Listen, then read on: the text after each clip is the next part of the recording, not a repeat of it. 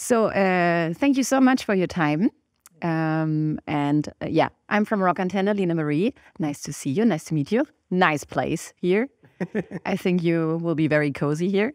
Um, yeah, you have a new album. so much for Stardust. Um, the first question is why is for in brackets? I don't know. Um, Yeah, I don't know. yeah, to be honest, so um, you know, for people that don't know, the way our band kind of works is so I write the bulk of the music and and you know the and you know I'm really involved in production and stuff. But then Pete, our bass player, uh, writes a lot of the lyrics and is really heavily involved in the you know, visuals and that. And sometimes I just don't ask because it's because he has such a he has such a specific vision about it. And like Mania, we, our last record, the letters are spaced out in this very specific way. And I've gotten asked before about what that means. I'm like, I don't know. and I, I like not knowing sometimes because I think it kind of, you know, it makes it makes it more of a conversation musically. You know, I get to What it is to you. yeah. I mean, I think the obvious answer is it's so much stardust, and then the parentheses is adding that so much for stardust. Yeah, like it's a like it's like like it becomes sarcastic, but Yeah. yeah, So the artwork uh, of the cover, it's not your thing. yeah. It's No, outsourced. not mine personally. It's it, like I said, Pete. Um, you know, really comes comes with it. You know, um, it was funny because uh, he he, uh, he was so. In, I mean, he he's so involved in it um, at any given moment, and he sent me over the over the course of we it took, we spent five years between albums, and over the course of those five years, he would send me so many photos of like I think it should be this. I think it should, and I and I'm always and you know he has all these ideas and and I'm always like I basically I just kind of I have a a sort of veto power where I'd be like I don't like that, but generally I kind of I kind of you know I'm not I I I just kind of follow his lead, you know, so. Nice. And um, yeah, I read that you talk about your new record that is a delicious meal. like I was I was so um overstrained. I was like, okay, a delicious meal. Why they said this for a record. So can you explain that? Well, I just mean like like uh my grandma doesn't cook anymore, but when she did, you know, she would put a lot of effort into it, you know, and and and you know, she worked really hard uh to make it you know, and to make it just perfect. And then there's that that element of after, you know, when she serves it to you where she's like looking, you know, do you like it, you know? And and I feel like it's like that. We we made this record really delicately, really um really carefully, really deliberately, and we wanted to make something that, you know, That's nourishing. it's nourishing. That you you know, you, you leave with a full tummy. No, we just went. We just wanted to. We just wanted something that, um, you know, we wanted to take our time because um, I think it's really easy to make records really quickly and now. You know, you can, you know, I with with the plugins I have on my laptop right now, I could make an album in 20 minutes if we wanted to, right? Um, so it really becomes a choice to like take time and you know and and focus on it. And that was kind of the, the point was to do something a little bit more, you know, Intention. yeah, like like when you make it when you make a good meal, it's like slow cooked that takes you know all day. It's like that, you know. Um, yeah, and you told it already. Uh, your last record, it's yeah, five years ago. I mean, five years, and you have very, very much sex success with the last record. So, how much, how big are your expectations for the new record? I don't really tend to think about expectations, um, especially because I'm never right. You know, I, I'll sometimes I'll be like, "Man, this song is great. This is my favorite song," and then and then I and then I bring it to the band. Yeah, this is good. it's gonna be big. And then I bring it to the band, and they're like, eh, "We don't like that one." you know, so so I don't uh, I don't tend to um, I don't tend to think too much about success. What I do try to think about is just how we feel making a record, and um, there is this thing um, when we did our first when we did uh, cork uh, from under the cork tree was our first major major label record um, i told my parents i was like okay i'm still not going to college i'm gonna i'm gonna take a semester off and see how this record works out they were very disappointed but they were like okay we'll see you know and then and then the record worked out yeah um, but uh, You're gonna go back to college this doesn't do well. That's what it is. Yes, that's the truth. um, but so, uh, but there was this feeling on that record where I was like, well, we only get one shot at this then, because you know, if this if this doesn't if and and I had no idea that it was going to be a hit, but more like, you know, my grandkids are going to be like, "Oh, you put out a record when you were, you know, like whatever," and and and you know, I want it to be something good, and so I thought about that again for this, where I'm like, you know, we should get back to that feeling of like, you know, you never know, like maybe make it like it's your last record, you know, make it with that kind of intention, you know, make it with that kind of, and you know, hopefully we get to do, you know, 20 more records, but you know, Yeah, in the same vein, I, I really look at it like I hope people enjoy it as much as we did yeah, it, it uh, uh, do, you know, and like that, you know, playing the songs live has that connection and that feeling and, you know, all that. and hopefully I don't have to go back to college. And how important how important is your connection to the fans? You told already uh, it's very important to play live and um, that the people are happy with your music. So how important is the fan community for you? I mean, I think we don't exist without our audience, without our fan community. I, I think, um, you know, we're such a weird band. I don't think we're, you know, obvious, uh, you know, rock stars or that kind of thing. Why did you say weird? Well, because I mean, because we are, because I, because I don't know, because I don't like when we when we used to we didn't know what we were doing you know when we when we would go on mtv and stuff and we would you know we were on T, you know there was this show trl and it would be like this big thing and you know there's all these people there and and we would show up and be like you know just like terrified you know. And and we've always been like that because there's just this i don't think i think i don't think any of us have ever felt like you know like it makes sense like oh yeah i should i should be on the cover of magazines you know it doesn't i don't really feel like that kind of guy you know?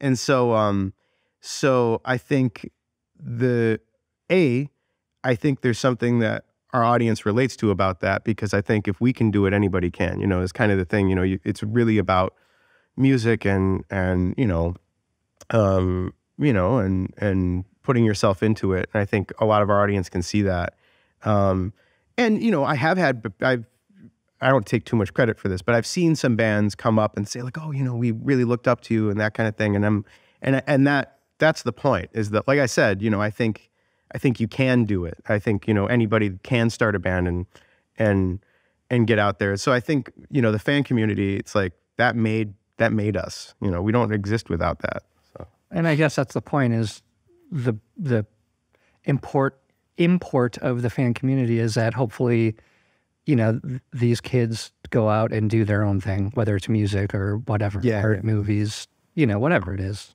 yeah I think that's the re- really important thing that the people um, have hope, um, and that's really really nice, and uh, that the fans love your music. It's definitely and your new. Um, I heard your new um, album, and I think it's like your your music. I heard it like I was a teenager, 13, 14, and your new record is very professional. Every song is like a radio hit, but in a positive way. In a positive way, and you, yeah, and I think it's a really, really happy, um, yeah, instrumentals, and you have uh, the small intros, and you have very, very, very nice details. How important are the details for you on this album? Yeah, that's huge. That I'm glad you pointed that out because that was that was the whole point. Really, was that you know, like I said, you can make a record really quickly now. You can make a record really easily now, and I just don't see the point of making something just to make something. I wanted to make something that really took its time and really focused and and you know, I, I always think of headphone records where where there's all these little details that you you're gonna miss if you're not really listening.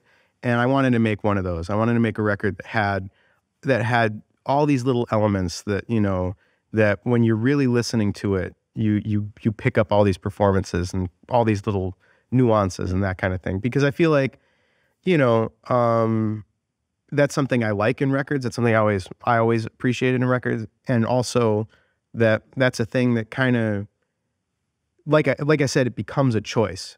You don't, you know, in the '70s, I guess people had to do that because you know that's the way you know records were. You didn't really have, you know, you didn't have the wall of compression that made you know one guitar sound like a sound like you know an, an arena. So you had to figure out ways to make things sound big.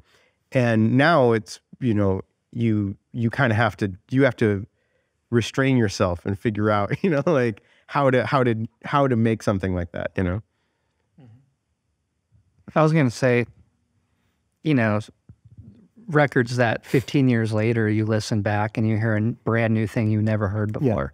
Those are the best kinds of records that you get a new thing to obsess over in a song you've heard a million times. That's really, really nice. And uh, yeah, many musicians wants to reinvent their music. Yeah. And um, wants to create like a new, unique sound. And I think that's different to your band because your sound is the same like in the past. So um, I you don't get tired that you that you, do the same stuff. Well, I think one of the things, you know, it's funny you point that out because we have a kind of sound, but I think the sound itself has always been a little bit experimental. I think that was, you know, when you look at our first, we have a record, Take This to Your Grave, um, which was our first album. And that was really one thing. It was kind of a pop punk record. And the next record, uh, Cork Tree, right away I had this I had this thought because again, you know, from my perspective, I'm thinking that, you know, I'm gonna, you know, the band's gonna break up. Andy was in like 10 other bands at the same time. And and you know, I mean, I figured everybody had other things going on. We weren't gonna be around forever. So so I was like, this is my only shot. And so I wanted to do a record um, that threw out a lot of things, that threw out a lot of ideas, and and kind of stretched out and wasn't just a pop punk record, you know. And so there's a lot of we, you know, that first record, I was I didn't know what I was doing, um, but you know, or not first record, but Cork Tree, I didn't know what I was doing, but I was kind of trying to push for, you know, um, there's elements of of glam rock and elements of you know folk music and elements of hip hop and elements of all these things on there. And I think we've kind of used that as a jumping off point where for the rest of the records we've been able to I'm really I'm really glad we did that because if we hadn't done it on that record, I think we'd be making it wouldn't just be that we had one sound, it would be that we had somebody else's sound. You know what I mean? Because I feel like Take This to Your Grave was a great record, but it was kind of a pop punk record. A very, you know, there are ways to do a pop punk record. Cork Tree was how we figured out how to be Fall Out Boy, and you know everything kind of stems off from there. You know. So. But I think it's a very very good mix. Like you have ballads on it. I think um, my favorite song is Heaven Lover. Mm -hmm. It's um, is it is it right? Heaven Lover. Is it, is it spelling right for me on your record? Heaven Lover. Yeah. Oh, heaven! I, that's an ah, no, no, no problem. No worries. So I. Um, we have different. Yeah, so we have. Ah. Uh, no, no, no, no. no. Pete names all the side. It's my favorite on this record. It's like a um, yeah a ballad. Yeah, it's a rock ballad. Yeah. I love this sound. So I think it's a very good mix. So, can you say your favorite song of this album personally? I would say my favorite song is probably uh, "So Much for Stardust," the title track. Um, there was something about that one that I made very personally, very you know, kind of just by myself. You know, had this idea, and I I really didn't think it was going to be something anybody else wanted, and and I. Uh, when I sent off, I you know I, I'll I would email demos to to the band and and um, I was really shocked that Pete liked, liked that one. You know that he he was like no that, that he's and he and in fact I think that was before we named the record that and I think it was like no that's the record. It was like it became a whole thing, and I was just so surprised that it got past. You know I almost didn't record it. I almost didn't demo it because I wasn't sure that anyone was going to like it, and um, so to get the whole thing, you know, the whole finished product with the string section I wrote a piece for for a string quartet, and you know, there's a brass section, and there's a choir, and you know, there's piano, and there's yeah, there's a lot going on, and um, so to get all the way there was just really exciting and a big surprise. I didn't anticipate that, you know. So it's really important for you to have your own story with the songs. Yeah, I mean, I, it's it's nice to be connected to the songs. I think this record, we are a- we are very connected to each of the songs individually in a way that we hadn't been um, for a long time. I think, um, you know, where we spent so much time on on each of them that that they all you know that there's something more um, personal about each of them to us. I think. And your favorite song? I love so much for Stardust as well. Uh, love from the other side is a favorite, but uh, what's the one that's like? I think it's maybe. It has the that fill.